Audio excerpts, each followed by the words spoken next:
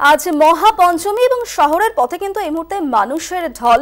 তবে আদালতের নির্দেশে করোনা বিধি মেনেই কিন্তু শারদোৎসব উদযাপন চলছে। গতবারের মতো এবারও সাধারণ মানুষ করোনা বিধি পালন করে করোনা বিধি মেনে পুজোর আনন্দে গা ভাসাচ্ছেন। আর এই মুহূর্তে শহরের নাকতলা উদয়ন সংঘ থেকে সরাসরি রয়েছেন আমাদের প্রতিনিধি শাশ্বতী। আমরা চলে যাচ্ছি শাশ্বতীর কাছে। শাশ্বতী, শুরুতেই তোমাকে মহাপঞ্চমের একরা শুভেচ্ছা জানাব। খুব সুন্দর দেখাচ্ছে তোমাকে। আর এই মুহূর্তে তুমি দাঁড়িয়ে রয়েছো শহরের অন্যতম নামী এবং জনপ্রিয় পুজো নাকতলা উদয়ন সংঘের পুজো মণ্ডপে। প্রতি বছর আমরা দেখেছি যে ঐতিহ্য এবং আধুনিকতার মেলবন্ধনে এক অভিনব ভাবনা কিন্তু তুলে ধরে দর্শনার্থীদের সামনে এই পুজো। এই মুহূর্তে সেখানকার ছবিটা ঠিক কি, শাশ্বতী?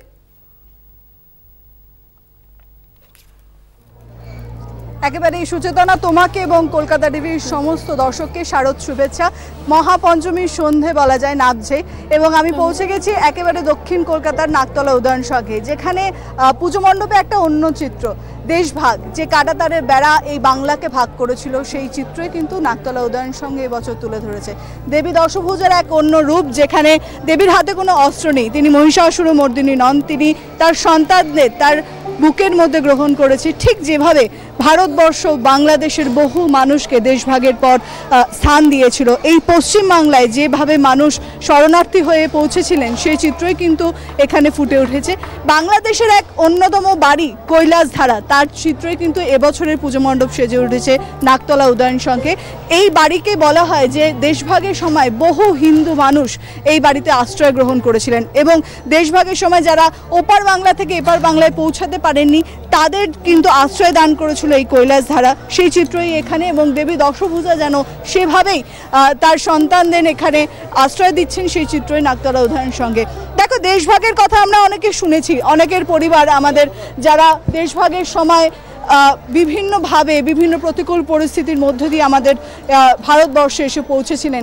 তাদের মুখ থেকে শোনা গল্পই এবছর নাকতলা উদয়ন সঙ্গে।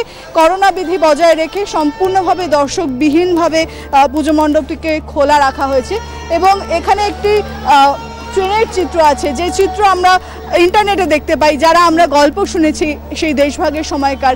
বহু মানুষ তাদের জিনিসপত্র, তাদের শেষ সম্বলটুকু নিয়ে নিজেদের প্রাণ বাঁচাতে বলা যায়। ওপার বাংলা থেকে এপার বাংলায় উঠে এসেছিলেন সেরকমই একটি ইনস্টলেশন সারা পুজো মণ্ডপ জুড়ে, যেখানে কাটা তারের বেড়া, যেখানে সেই পুরনো ট্রেন, তাদের আসবাব, সেই চিত্রই কিন্তু উঠে আসে। কিছু স্মৃতি, যে স্মৃতিগুলো কোনোদিন ভোলা যায় না, যেগুলো একের পর এক তাদের বংশধারায় সেটা পৌঁছে যায় মানুষের মনে, সেই চিত্রই এবছরও নাকতলা উদয়ন সঙ্গে। তুমি সম্পূর্ণ পুজো মণ্ডপ জুড়ে দেখতে পারবে যে একেবারে অন্য রকম একটি ভাবনা কোনো রকম প্রাচুর্যতা নেই। শুধুমাত্র আশ্রয়স্থল হিসেবে নাকরা উদয়সগের এই পুজো মণ্ডপ সেজে উঠেছে এবং একটি বাড়ির তার খণ্ডচিত্র এবং আমাদের বাড়িতে গেলে এখনও যে চিত্রগুলো পাওয়া যায় সেগুলো কিন্তু এখানে পাবে। পুরনো ট্রাঙ্ক ঠাকুরদা ঠাকুমার ছবি, সে সমস্ত স্মৃতিকেই খণ্ডচিত্র করে নাগতলা উদয়ন সংঘ সেজে উঠেছে এবছর। এবং ইতিমধ্যে বিভিন্ন জায়গা থেকে দর্শকরা উপস্থিত হয়েছেন এবং বিচারকরা উপস্থিত হয়েছেন। কারণ দক্ষিণ কলকাতার এই পুজো অন্যতম একটি পুজো। বিভিন্ন প্রতিযোগিতায় তারা অংশগ্রহণ করেন। তা সেই সমস্ত মানুষদের আনাগোনা কিন্তু শুরু হয়ে গেছে। এবং বাইরে দিয়ে বহু মানুষ পৌঁছে যাচ্ছেন তাদের নিজস্ব গন্তব্যে এবং এই পুজো মণ্ডপ ঘুরে তারা আবারও চেষ্টা করছেন যে করোনা পরিস্থিতিটাকে কাটিয়ে কীভাবে আবার স্বাভাবিক ছন্দে পৌঁছানো যায় এবং এই পুজো মণ্ডপ ঘুরে আরও একবার দুর্গাপুজোর যে উৎসাহ, যে আনন্দ, তা শুরু করা যায় বলা যায়। তৃতীয়া থেকেই পুজো মণ্ডপ উদ্বোধন হয়ে গেছে এবং বহু মানুষের সমাগম সারা দিন ধরে সন্ধ্যা পাড়ার সঙ্গে সঙ্গে এই পুজোর চাকচিক্য এবং যে জনজোয়ার, তার চিত্র কিন্তু কিছুটা হলেও ধরা পড়বে। এবং যেহেতু করোনা বিধি পুজো মণ্ডপে সম্পূর্ণভাবে প্রবেশ অবাধ নয়, তার জন্য কিন্তু এবছর বাইরে দিয়ে দর্শকদের যাতায়াতের ব্যবস্থা করা হয়েছে এবং সম্পূর্ণ একটি খোলা পুজো মণ্ডপ এখানে নাগতলা উদয়ন সংঘ সেজে উঠেছে। সূচনা শাশ্বতী এই মুহূর্তে পূজা মণ্ডপে যারা রয়েছেন, তাদের সঙ্গে যদি একটু কথা বলো যে এই যে একটু অন্যরকম ভাবে পুজো উদযাপন করোনা বিধি মেনে পুজো উদযাপন, অন্যান্য বারের থেকে একটু আলাদা, গতবার এবং এবার, এই বিষয়টা নিয়ে মণ্ডপে আগত পুজোয় আসা যে সমস্ত দর্শনার্থীরা, তারা কি ভাবছেন এই বিষয়টা নিয়ে? একবারে আমি চেষ্টা করছি তোমার সঙ্গে সেই কথা বলার। এবং এখানে যে চিত্র তুমি দেখতে পাবে বহু মানুষ এসেছেন যারা সেলফি তুলছেন।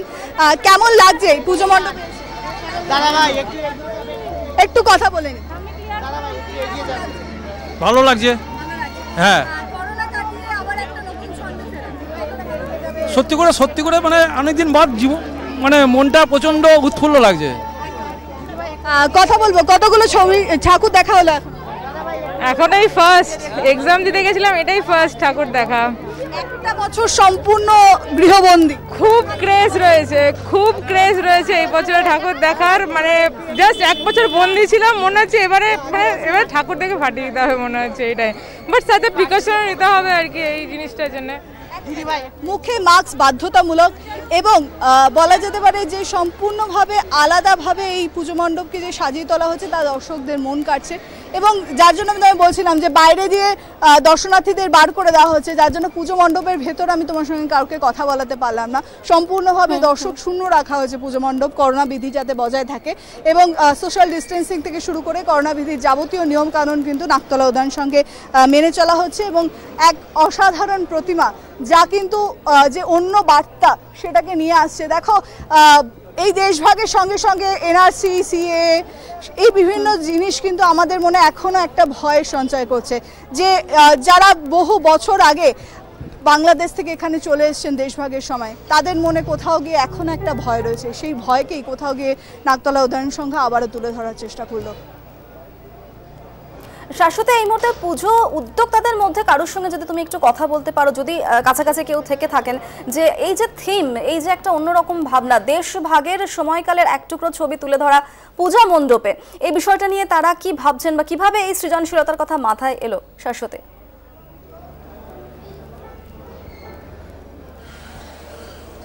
দেখো, এই পুজো মণ্ডপ ঘোরালে তোমাকে আমি দেখাতে পারব যে বিভিন্ন জায়গায় এক একটা যে খণ্ডচিত্র রয়েছে, তা কিন্তু সুস্পষ্ট এবং পুজো উদ্যোক্তারা এখানে রয়েছেন, আমার সঙ্গে আমি কথা বলে নেব। এই চিন্তা ভাবনাটা কোথা থেকে এলো? কীভাবে এলো?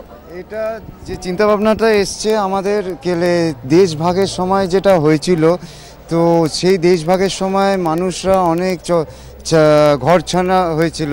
সেই কনসেপ্ট থেকেই আমাদের আমাদের এবারকার প্রতিমা শিল্পী সেই কনসেপ্টটাকে তুলে ধরেছে।